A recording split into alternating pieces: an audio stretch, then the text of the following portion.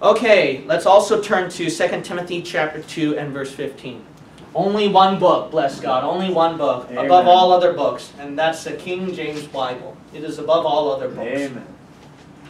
And guess what? The King James Bible shows you really salient verses, and sometimes you gotta understand this. When God shows you a certain verse, sometimes He will show it one time. And when you take out an important, and I'm going to look at important doctrines, that's only found at one verse. Good advice, don't change it, right? Yeah. I would give you very good advice. Don't you dare change it then, because that's the only verse you're going to find in the entire Bible that mentions a specific doctrine. And we're going to look at those verses, which shows why you can't trust these modern Bibles, but the King James Bible. Let's look at 2 Timothy chapter 2 and verse 15. What does the Bible says? What's the first word in that verse? Study. All right. All the modern Bibles, and I believe the New King James Version as well, go be diligent, or they replace the word study with something else. That's your only verse in the Bible that teaches you what to do with the Bible. The command to study the Bible. Not just God commanding you to study, but God commanding you to study the Bible. The only command. And they got rid of that word study. Instead, they just, uh, what do they say? Like, be diligent or something like that. No, it's not just being diligent, it's actually studying it, all right? Looking at the verses, reading it, memorizing, knowing all the doctrine. You got to actually take time to study, not just be diligent with it. What, with reading? With memorizing? With other stuff? No, God wants you to study that thing. He wants you to be so thorough with it. But it's twofold. It's the only verse, only verse, and if you're a KJV onlyist, my goodness, you have no choice. You have to change this verse, but you can't because you claim to be KJV only and you don't like dispensationalism. Rightly dividing. The only verse in your Bible that commands you how to, stu- how to study the Bible. It's a method of rightly dividing the word. Amen. Majority of modern versions, they will change rightly dividing to hand, handling, rightly handling. Your only verse on dispensationalism, your only verse to find Bible believing truth, could well, kind of makes sense why NIV people, NKJV people, uh, you know, James Big Fat White Lie and Dan Walnuts and those guys, it, now it makes sense why they don't know much Bible believing truth. Yeah. Because they got rid of a verse that, the only verse in the Bible where to find Bible believing truth. You have to study and you have to rightly divide it.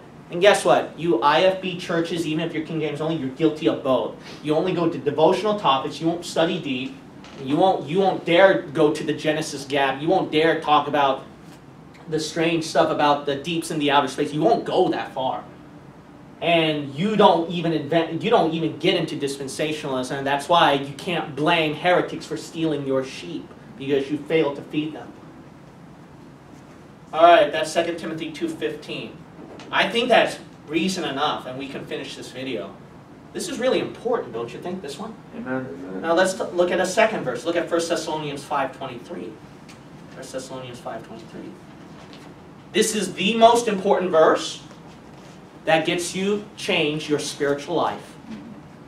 I preached a sermon out of this. I think almost two sermons. This one is such a, I use this verse quite often. Abstain from all evil or appearances of evil. Appearances of evil, right? Verse 22. Uh, 22, thank you, brother. 22. See, pastors make mistakes. See, you all have to pay attention, you know? Otherwise, you would have go, Amen, Amen, like that. And it's appearance, not appearance. Appearance, thank you. Okay, then. All right, you don't have to be that critical now, okay? Now stop, all right? I'm just kidding. So 1 Thessalonians 5.22, it says, abstain from all what? Appearance of evil. This verse is the only verse in your entire Bible that tells you not only avoid sin, but what appears to be sinful. Mhm. See, that's why some people they might say, "Oh, you're too legalistic, you're too careful." But no, it's because we want we don't want to appear sinful at all. So that's why some of us, we don't do some stuff in our homes for convenient or pleasured things because it appears evil.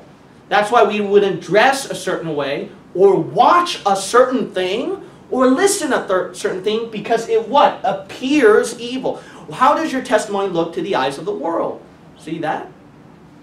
You know, nowadays people can tell between a Jehovah Witness and a, a regular, you know, atheist by just looking how they appear rather than a Bible believing Christian. It's so sad. They see a Bible believing Christian where they see a Calvary Chapel guy and an atheist and they don't they can't tell the difference at all. Mhm. So that's why appearance of evil. But guess what? Modern Bibles, I guess they don't like that. No wonder they're so worldly. That makes sense now. That you can't tell when you're in a you're in a service, you're either in a rock concert or you're either in a worship service. You can't tell the difference now. Because why? The Bible says form of evil. Not appearance, but form or kind.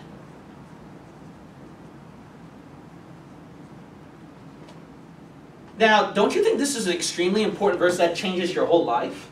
It's life changing. Even the New King James Version messed this verse up. All right, let's look at another verse right here. We're going to look at uh, Mark 9 29. Mark 9 29. Mark 9 29. Oh, I'm sorry. There is no Mark 29. Okay? There is none. I'm so sorry. In your NIV, in your ESV, Got him. Look at Mark chapter 9, and we will read verse 29. The only verse that teaches you what to do against demonic attacks. And I'm surprised how many, oh, that's not important. Yeah, it's important. Do you know how many comments and emails I get of people who are under demonic attacks and they requested help? You know what? You know what? This is so important. I use this. Mark 9 29. And he said unto them, This kind, this particular demon, because it's so strong, can come forth by nothing but by what? Prayer and fasting. You have to fast and pray. Now, Matthew 17 21 is the same thing, repeating the same thing. Oh, oh, but we have it. We have it at Matthew 17 21. No, you removed fasting. Mhm. Oh, you can pray all you want, but if you want to get really desperate, this is so powerful. Fasting and prayer is so powerful, folks. I can't stress that enough. Especially, it's not just flesh, but even demonic attacks. This is so important. They remove fasting. The only verse, only verse against demonic attacks. Could that probably explain why some of these modern translators could be so demonically oppressed or possessed, maybe? Maybe that would make more sense? Huh. All right, let's look at 1 Timothy chapter 6, verse 20. 1 Timothy chapter 6 and verse 20. Your only verse in the entire Bible, and a lot of you conspiracy buffs will love this verse actually. look at 1 Timothy chapter 6, verse 20. And you know my position on flat earth, so please don't stress on that one, all right? But you will love this anyway, okay? 1 Timothy 6.20 is your only verse in the entire Bible that shows you this. It warns you of, it doesn't warn you about science. Science is true. All right, otherwise you and I would not exist or even enjoy your little iPhones or the internet that you're watching if you don't know science. But it's warning about science, it's not warning about science, it's warning about what? Science falsely so called. Your only verse in the entire Bible, only verse, only verse that warns about false science. Great verse against evolution. Amen. Great verse against all these scientists. And, you know, even Einstein, I thought he's the smartest guy, but recently he was even disproven on his uh, re- uh, relativity concerning the speed of light. Recently. That's impossible. But it actually became possible. By the way, Dr. Upman wrote a critique against that years ago. Ooh. Well, anyway, mo- modern Bibles replace that with knowledge.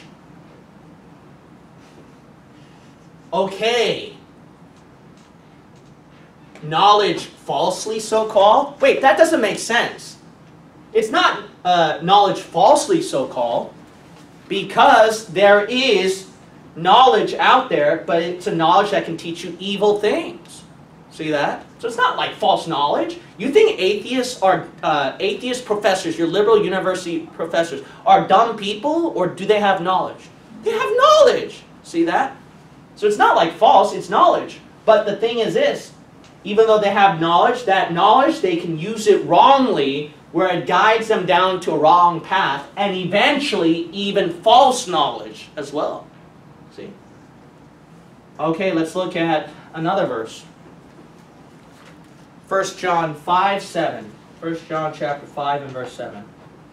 Oops, I'm sorry, there is no such verse. But it's verse 7. It's, chapter 5's got more than seven verses. Yeah, in your NIV, your ESV. Your only verse, your only verse in the entire Bible where it says Father, Son, and Holy Ghost are one.